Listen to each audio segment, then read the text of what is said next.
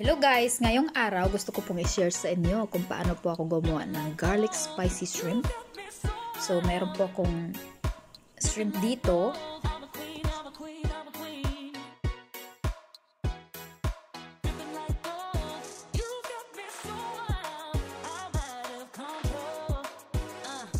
Papakita ko po sa inyo kung paano ko siya linisin. So mag-uumpisa po ako dito sa pagkakat ng shrimp. Tatanggalin ko po yung mga matulis na part. And then, bubuksan ko po siya sa likod. Kasi merong bahagi ng shrimp sa likod, yung maruming part.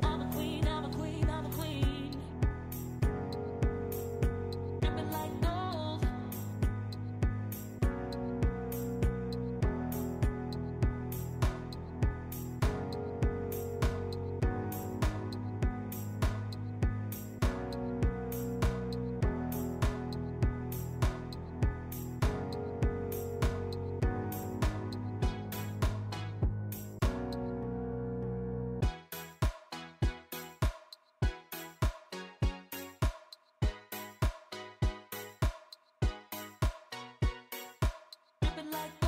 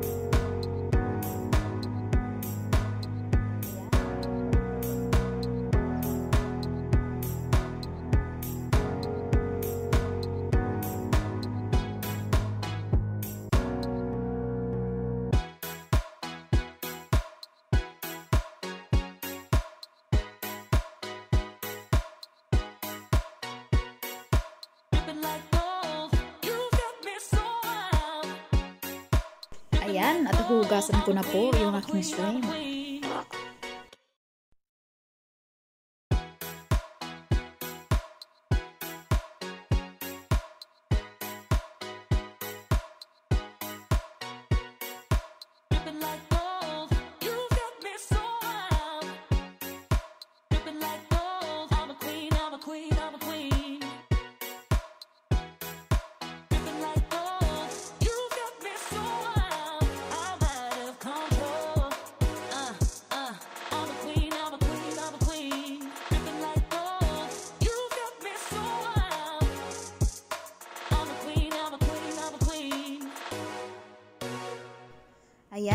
tapos ko na pong mahugasan yung aking shrimp. Ngayon naman po, lalagyan ko siya ng kokonting asin.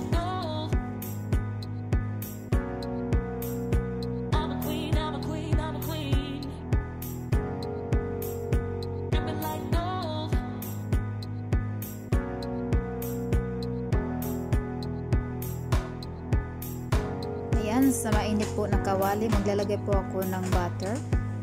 Kung wala po kayong butter, pwede nyo pong gamitin yung margarine.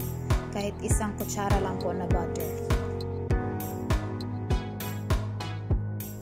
Ngayon naman po, ilalagay ko po yung garlic.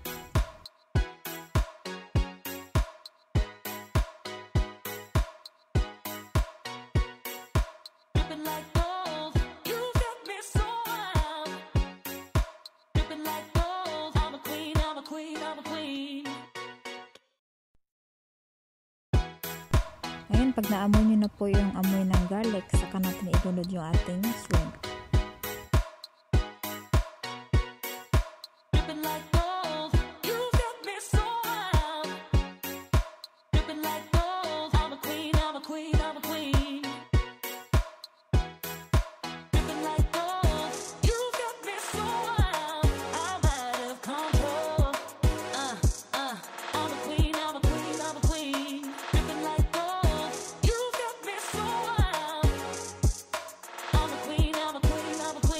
Maglalagay po ako ng black pepper.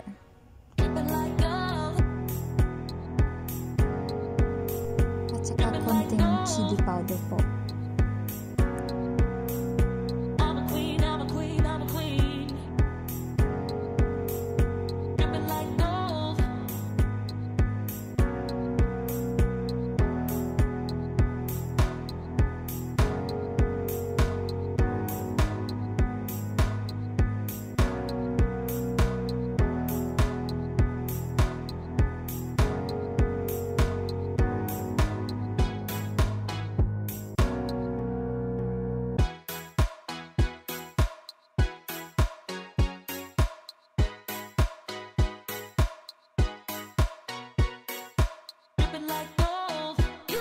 Ngayon naman po, maglalagay po tayo ng tatlong kutsarang ketchup.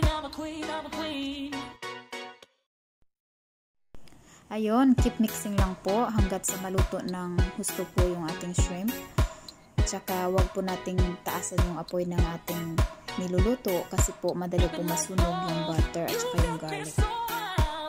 po, maglalagay po tayo ng dried garlic crumbs.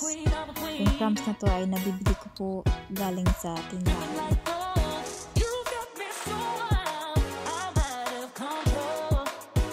Ngayon po, maglalagay po ako ng dried parsley leaf. Yun po yung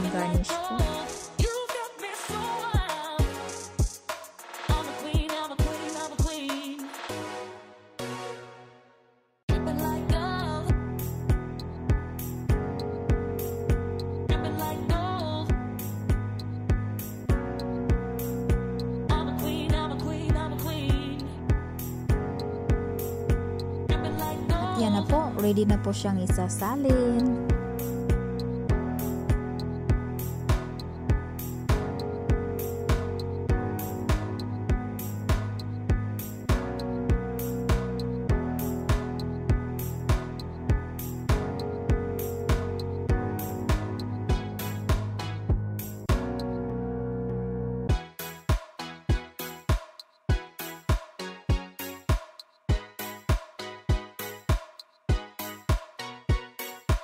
happen like